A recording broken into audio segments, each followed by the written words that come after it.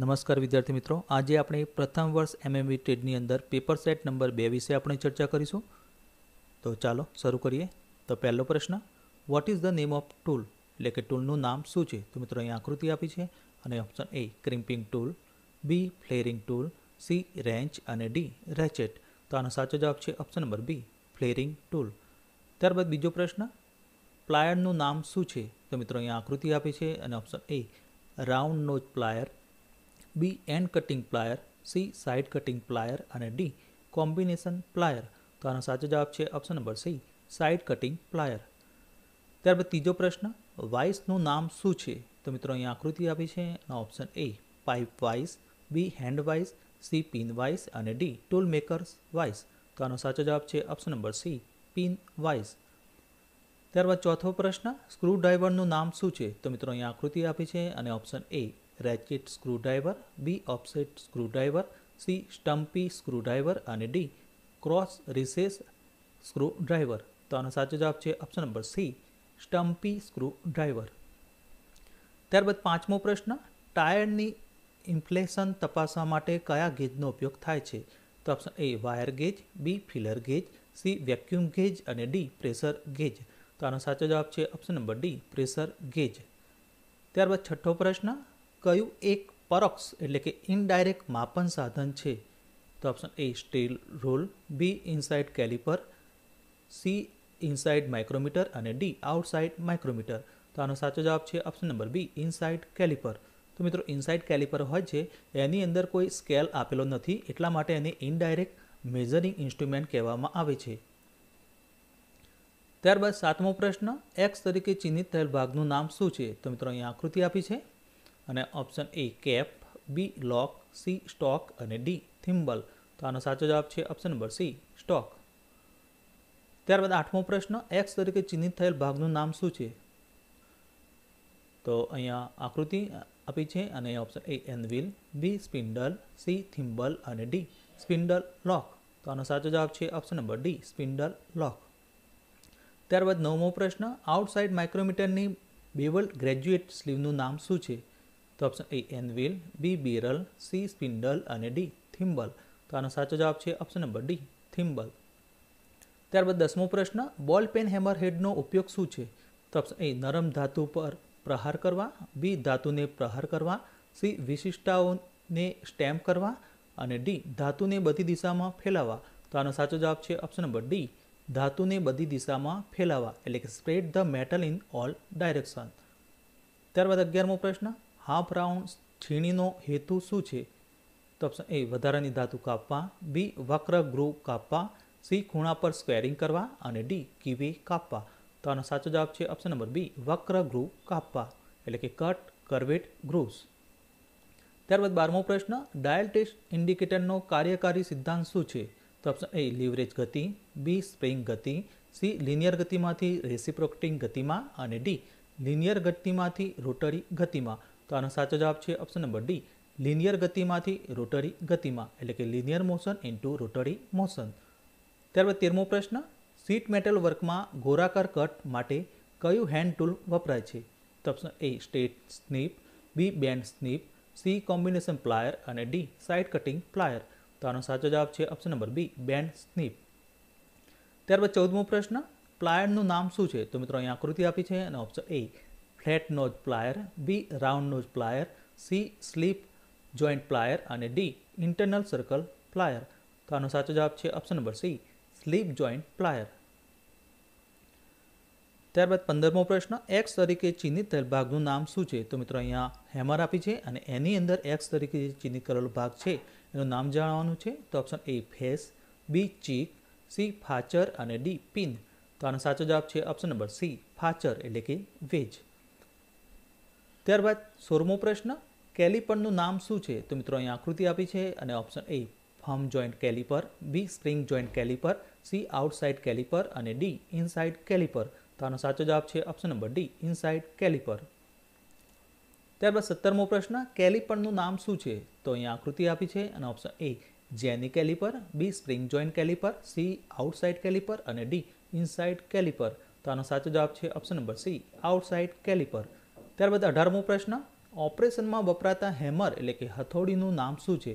તો મિત્રો અહીંયા ઓપરેશન બતાવવામાં આવ્યું છે અને અહીંયા option A, mallet hammer, B, ball peen hammer, C cross peen hammer અને ડી, સ્ટ્રેટ પિન હેમર. તો આનો સાચો જવાબ છે option number A, mallet hammer. ત્યારબાદ ઓગણીસમો પ્રશ્ન સ્ક્રૂડ્રાઈવરનું નામ શું છે? તો મિત્રો અહીંયા સ્ક્રૂડ્રાઈવરની આકૃતિ આપી છે અને option A, cross recess screwdriver B, ratchet screwdriver C stumpy screwdriver અને ડી ઓફસેટ સ્ક્રૂડ્રાઈવર તો આનો સાચો જવાબ છે option number A cross recess screw driver ત્યારબાદ વીસમો પ્રશ્ન એક્સ તરીકે ચિહ્નિત થયેલ ભાગનું નામ શું છે? તો મિત્રો અહીંયા વર્નિયર કેલિપર આપ્યું છે અને એની અંદર એક્સ તરીકે જે ચિહ્નિત કરેલો ભાગ છે, એનું નામ જણાવવાનું છે. તો option A beam B fix jaw.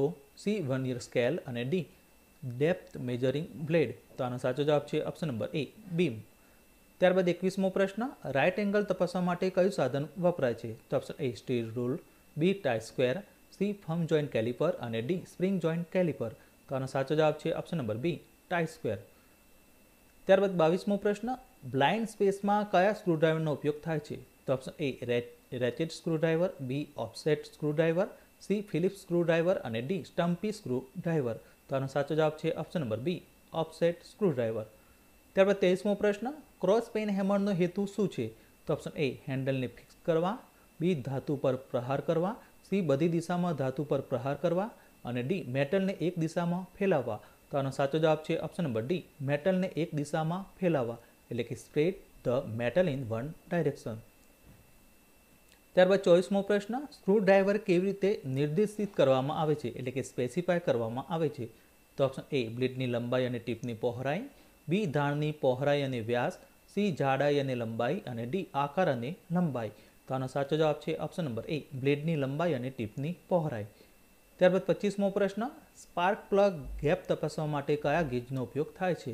તો option A telescopic gauge B vernier gauge C pitch gauge અને ડી ફિલર ગેજ તો આનો સાચો જવાબ છે option number D feeler gauge ત્યારબાદ છવ્વીસમો પ્રશ્ન પિસ્ટન રિંગ એન્ડ ગેપ તપાસવા માટે કયું સાધન વપરાય છે?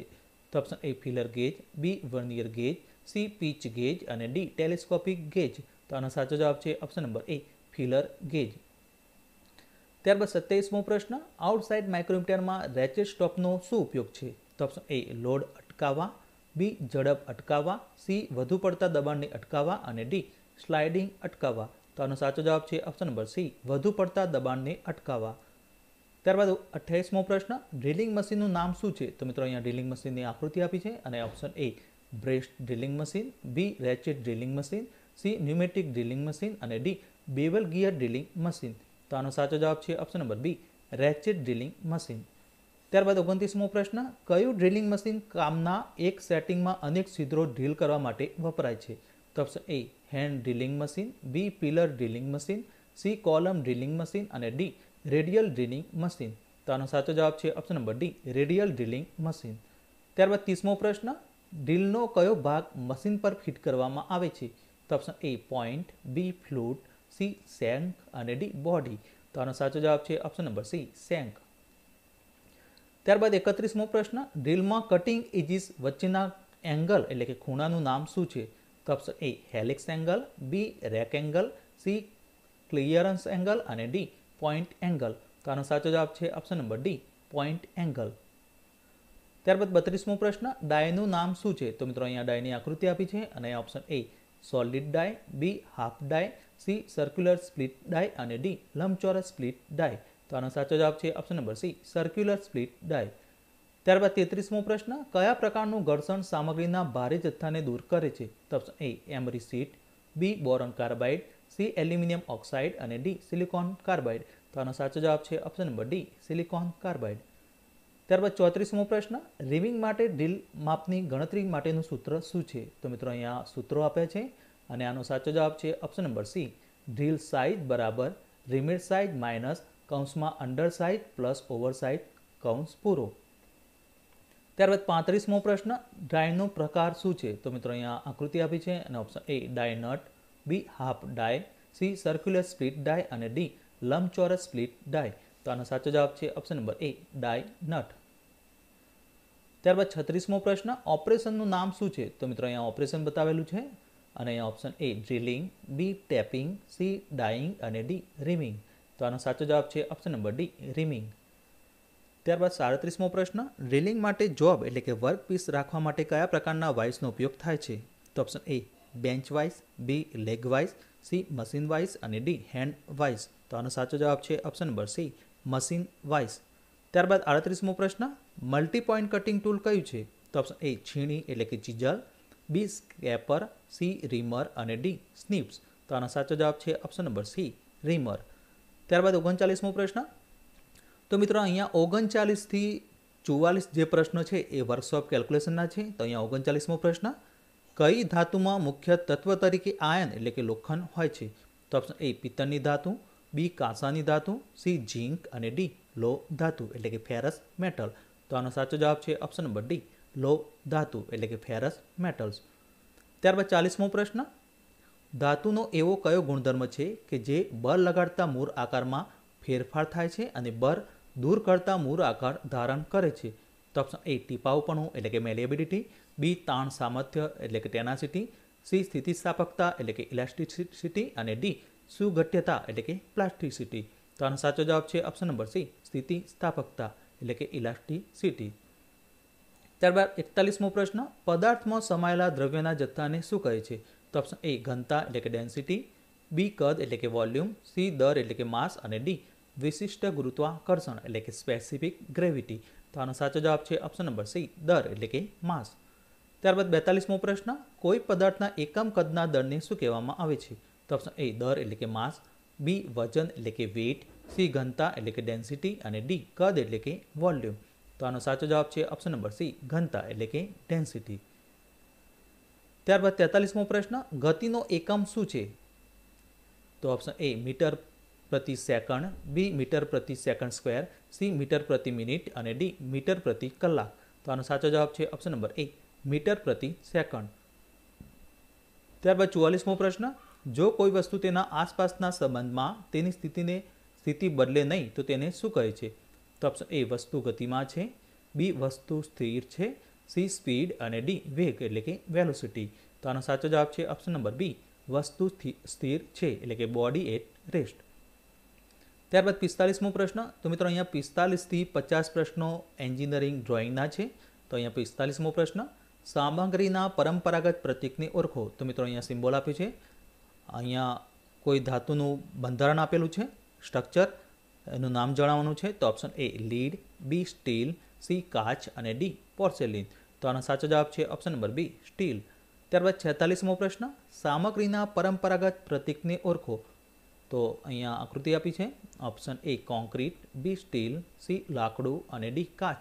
તો આનો સાચો જવાબ છે ઓપ્શન નંબર ડી કાચ, એટલે કે ગ્લાસ ત્યારબાદ સુડતાલીસમો પ્રશ્ન, સામગ્રીના પરંપરાગત પ્રતીકને ઓળખો. તો અહીંયા આકૃતિ આપી છે અને ઓપ્શન એ સ્ટીલ બી લાકડું સી કાચ અને ડી કોન્ક્રીટ તો આનો સાચો જવાબ છે ઓપ્શન નંબર ડી કોન્ક્રીટ ત્યારબાદ અડતાલીસમો પ્રશ્ન એ ફોર સીટનું ટ્રીમ કરેલ સાઇઝ શું છે? તો અહીંયા ઓપ્શન આપે છે અને આનો સાચો જવાબ છે ઓપ્શન નંબર સી બસો દસ બાય બસો સત્તાણું. એટલે કે બસો દસ, તેની પહોળાઈ અને લંબાઈ બસો સત્તાણું એમએમ ત્યારબાદ ઓગણપચાસમો પ્રશ્ન આઈએસ સ્ટાન્ડર્ડ મુજબ કયું ડ્રોઈંગ ડાયમેન્શન સાચું છે? તો અહીંયા ઓપ્શન આપે છે અને આનો સાચો જવાબ છે option number A A one તો મિત્રો અહીંયા એ વન જે ઉપરની પહેલી આકૃતિ આપી છે, એમાં કરેક્ટ એટલે કે સાચું ડાયમેન્શન આપેલું છે.